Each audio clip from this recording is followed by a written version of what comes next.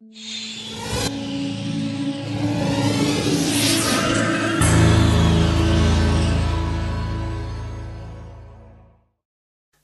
vorba că voi vorbi în engleză, așa am uh, discutat cu Roxana, dar uh, cum tocmai eu, țăranul, să fiu primul care să, să vorbesc în engleză. Am vrut să vorbesc în engleză în speranța, visul meu, ca acest pis să ajungă pe TED.com.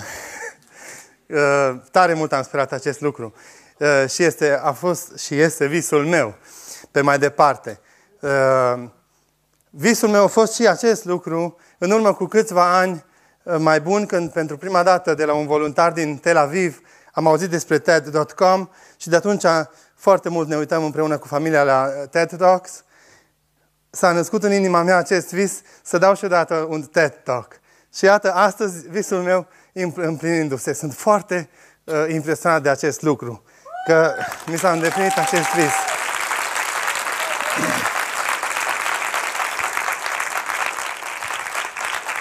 Și mă bucur mult că pot să vă împărtășesc această idee pe care sper să o răspândiți și voi cât mai uh, larg uh, în jurul vostru și ori pe unde mergeți. Dar haideți în primul rând, prima dată să vă povestesc uh, povestea uh, noastră, cea care scrie și în broșură. În urmă cu 17 ani, atunci când împreună cu soția mea ne-am hotărât să ne mutăm înapoi din Germania, unde locuisem pentru câțiva ani de zile și să, de la oraș să ne mutăm la țară. Eu sunt din Oradea, soția mea este din Mediaș, amândoi suntem de la oraș și ne-am hotărât să ne mutăm la țară, fiindcă ne-am îndrăgostit de acea, acest mod de viață uh, de țăran bio, prin activitatea noastră de translatori, uh, în mod deosebit în, în Elveția, unde am tradus pentru niște practicanți care învățau acolo agricultura ecologică.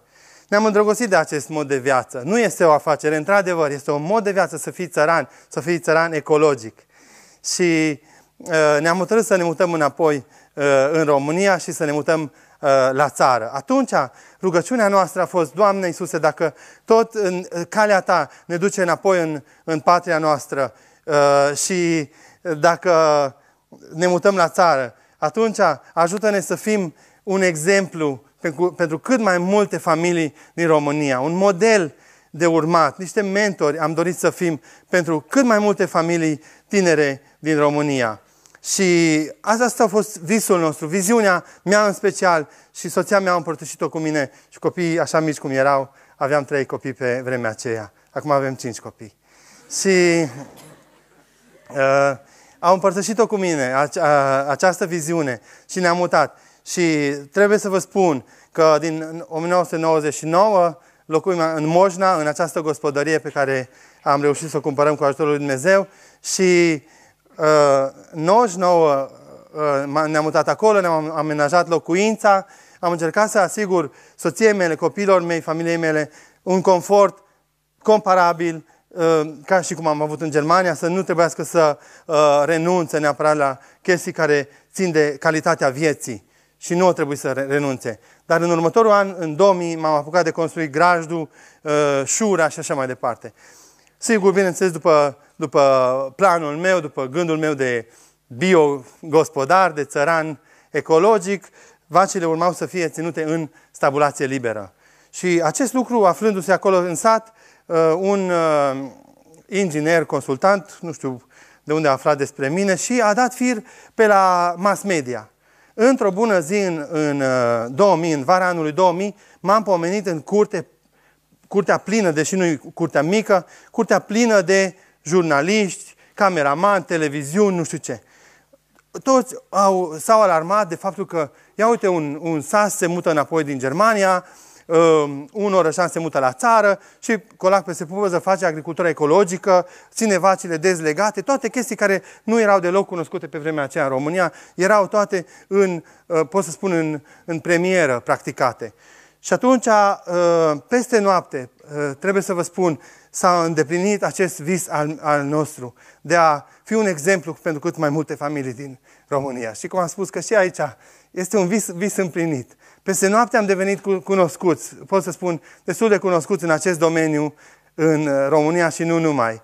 Și de atunci încoace, mereu, uh, aproape zilnic, în gospodăria noastră, vin uh, tot felul de oameni care vor să învețe de la noi. Și suntem, pe germană să, uh, obișnuiesc să spun, zum Erfolg verdammt. Adică am fost condamnați la succes și, și uh, oameni vin. Ieri, uh, de exemplu, a fost uh, ultimul grup care ne-a vizitat gospodăria, un grup de 19 studenți din, din Franța, cu doi profesori și cu uh, tură operatoare, translatoare și șoferul. Și uh, uh, mereu ne, ne, ne vizitează și voi toți să, vă invit să veniți uh, să ne vizitați să uh, petrecem timp de calitate împreună. Asta obișnuiesc eu să zic. Dacă ați venit într-un grup mai mare, haideți și în particular, așa cu familia voastră sau cu uh, câte unul singur, să putem, putem să petrecem timp de calitate împreună în uh, gospodăria noastră, să putem să povestim despre chestii faine. Și asta este povestea mea. Vă mulțumesc pentru atenție. Dar nu sunt gata. Asta este povestea și acum să trecem la subiect. Am vrut să vă vorbesc am vrut să vă vorbesc despre downshifting. Și de, de asta, de fapt, aș fi vrut să vorbesc pe engleză. Sunt niște uh, termeni, termeni englez, englezisme, sau cum se zice. Uh, downshifting este o noțiune destul de nouă, apărută și mie mi-a plăcut foarte mult când, atunci când o, o domnișoară sau doamnă o postat acolo pe un blog o lucrare destul de lungă despre downshifting.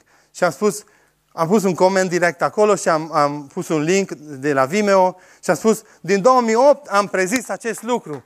Atunci când în Annecy, în Franța, am, am spus că cred și sunt convins în, uh, de o reruralizare sau contraurbanizare, de o mișcare tot mai masivă a, a oamenilor care sunt uh, sătui de viața stresată și, și distructivă de la orașele mari sau, sau uh, nu, nu neapărat locația, dar și profesia care i-a uh, băgat între zidurile acelea, oamenii uh, vor fi tot mai mult sătuți de acest lucru și vor păși în afară a, a acestui sistem. Și asta se cheamă în uh, termeni noi downshifting.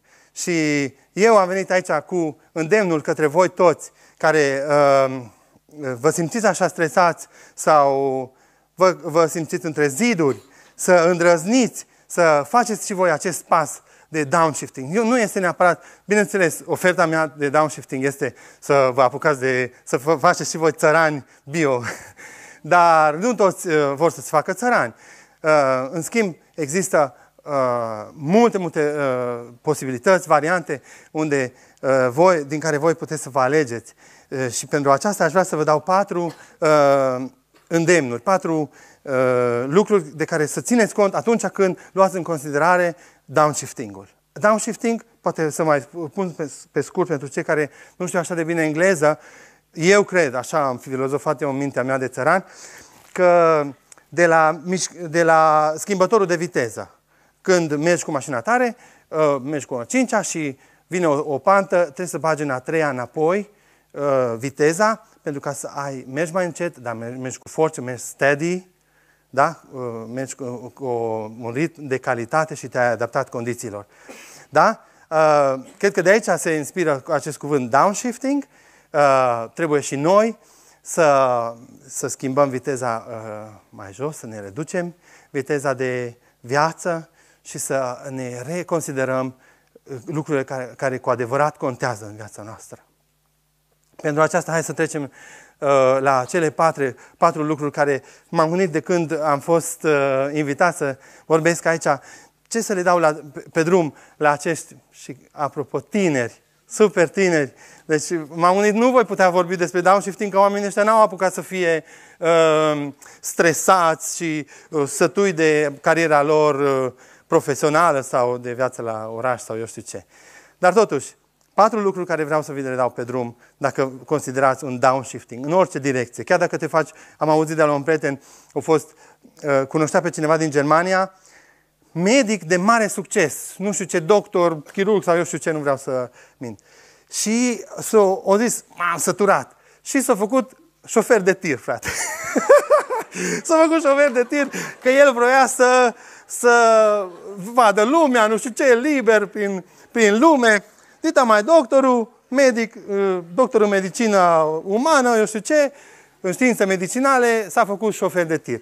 Deci downshifting-urile sunt de, de diferite tipuri. Uh, în primul rând, trebuie să ai o viziune. Eu v-am vorbit despre viziunea mea. Un vis, o viziune. I have a dream. nu? I have a dream. Am o, o, o viziune, am, am un vis. Și care, chiar în primul an, tot așa, în, când m-am mutat la Mojna, uh, în, în curtea noastră s-a deplasat, a călcat bătă, pe bătătura în bătătura noastră, uh, un uh, domn academician, îmi scapă numele acum, dar am reținut un lucru, că eu, mie îmi place să învăț de la oameni uh, mult mai deștepți decât mine. E bine, să înveți de la oricine, de la ăia mai, de la ăia mai deștepți, poți să înveți și mai multe.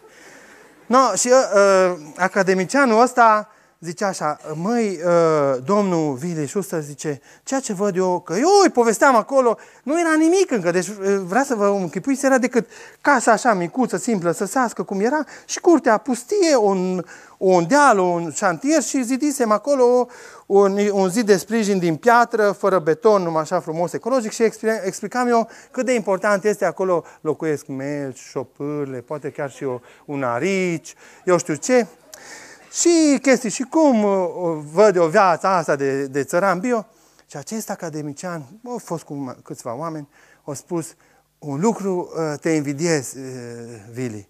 Zice, tu ai un, o țintă în fața ochilor tăi, un, o viziune, un cel. Și acela te, te trage pe tine. Se vede pe tine că te atrage țelul, ținta te atrage, viziunea. Și nu trebuie nimeni să te împingă din spate, să, hai, fă, hai, fă, vedeți, la noi mereu sunt chestiile astea, hai, trebuie implementat, trebuie, eu știu ce. Nu trebuie, nu ai nevoie de chestiile astea. Nu ai nevoie de, de chestiile astea, fiindcă te trage ținta, te trage viziunea. Și într-adevăr, uitați, m-a tras până aici, la TEDx eroilor. Slavă Domnului! Uh, important să ai și o, vi- o viziune. Dacă nu ai o viziune pentru downshifting, nu te apuca. Uh, următorul este echipa. Uh, v-am spus că împreună cu soția mea și cu copiii uh, i-am identificat și cu toții împreună împărtășim această viziune. Este important. De, de obicei, cine se o apucă singur de downshifting? Cine se apucă singur să se mute la țară sau să meargă în junglă sau eu știu unde să... Ăsta cu șofer de tir, da. Dar dar în rest, de obicei cam îți trebuie echipă. Mai ales dacă ești căsătorit, includeți echipa în, în viziunea ta. Noi am, chiar am extins această echipă, echipă și vedeți în imagine undeva uh, un uh, screenshot, îi zice, screenshot cu uh, homepage-ul uh, Eco Ruralisului. Aceasta este o echipă mai mare, o familie mai mare. Voi profitați de acest lucru că deja s-a dezvoltat familia noastră, echipa a crescut și puteți join the team, să vă atașați echipei. Uh, ar fi mai multe de spus la acest capitol, o să avem uh, timp să povestim și în pauze și după aceea. Uh, uh, viziune, echipă, mentori, mentori. Important. Pe cine, pe cine ți-l alegi ca și mentor? Cine este maestrul tău sau învățătorul tău la picioarele căruia uh, înveți sau la cine apelezi oricând când te lovești de o problemă. Pe, pentru mine, unul din cei mai mari mentori ai mei, ai mei a fost John Seymour. Poate vă spune ceva uh, numele John Seymour. Uh, a scris uh, marea carte despre, despre agricultura de subzistență și anume subzistență într-o conotație pozitivă și este super faină. Self-Sufficient Farming, The Great Book About Self-Sufficient Farming, cred că așa se cheamă. Este cel mai bun mentor pe care poți să ți-l alegi dacă te apuci de self-sufficient farming. Uh, am avut și sigur uh, câțiva guru ai agriculturii ecologice din Elveția și din Europa de Vest și din America. Uh, am avut uh, și mereu îmi place să recurg la bătrânii, dacă mai sunt în satele unde, unde mergeți, dacă mai sunt bătrâni și sunt înțelepciuni ancestrale, sunt foarte importante de, de să ne racordăm la ele și să luăm și de acolo neapărat chestii care ne sunt de foarte mare uh, folos. Viziune, echipă, mentor și ce era ultima seară? Uh, viziune, echipă, mentor, uh, îmi scapă ultima. Uh, în orice caz, uh, mă bucur că sunt în, între voi și uh, vă rog să mă adres, vă adresați dacă vreți să vă... Da, valorile erau ultimele. Valori! Valori! Viziune, echipă, mentor și valori. Uh, de obicei, cine uh, se gândește la un downshifting are ceva, o motivație. Ca și Octavian, Octavian care uh, au, au, și-a schimbat uh, scara de valori, da? Îl preocupă ceva și caută și este în căutare. Fiecare dintre noi trebuie să avem uh, niște valori bine definite, ca să nu fim luați așa de, de val, da? Uh, avem pentru noi, de exemplu, valorile nu sunt uh, neapărat banul sau jeepul acela sau uh, status simbolul, nu, nu constă la noi în, în lucruri materiale.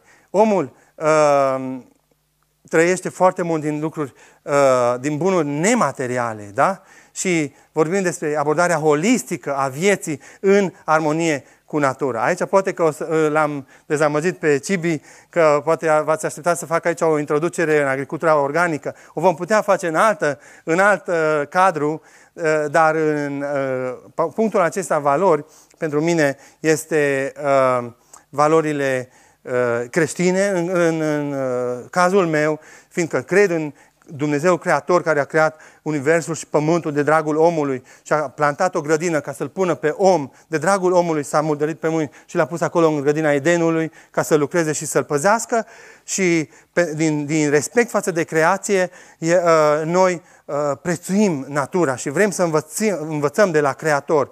Și astea ne sunt valorile. Valorile mai sunt, am spus, nemateriale, împărtășirea, așa, sharing, uh, voluntariatul, Ați văzut poate într-una din imagini WWOF, WWOF, care vine de la voluntariat în gospodării ecologice.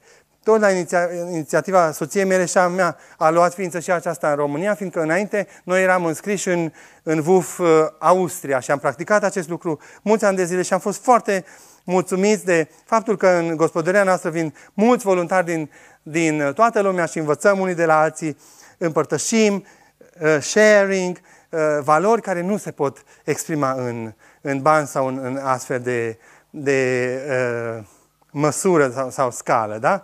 Deci, uh, vă mulțumesc foarte mult de atenție, mă bucur că mi-am adus aminte de al patrulea punct și uh, îndrăzniți să faceți acest pas în afară de downshifting. Vă mulțumesc!